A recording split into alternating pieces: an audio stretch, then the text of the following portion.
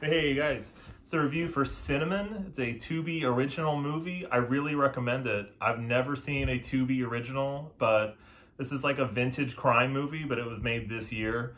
It's got a great cast. It's got Damon Wayans playing this really silly character, and he's he's really funny in it. Uh, he's great in every scene. This guy Jeremy Harris, who I've never seen before, is a really great actor. He's so intense and has this really cool energy, but he's also pretty funny at times. Uh, he's just really intense without going over the top. I think this guy's an awesome actor. I'm gonna look forward to seeing him in other stuff. And it's got Pam Grier. So the movie, before she shows up, I, I was getting Jackie Brown vibes from the movie because it's a criminal, kind of a heist movie, sort of.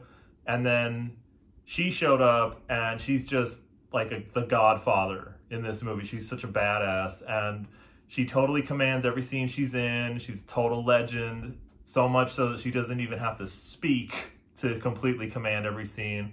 So it has like an indie vibe to it and it, I don't think it came out in theaters, so it's just a really good story with a great cast done very well for what seems to be not a huge budget. And that's exactly the kind of stuff that I'm looking to to, to watch uh, in the in, in, the immediate future as the superhero movies go away or die hopefully. Um, I would love to see more indie movies like this where it's just about 90 minutes really great characters good performances decent music and really no frills, just great storytelling. So if you get a chance to check it out, it's free on Tubi. Thanks so much, guys.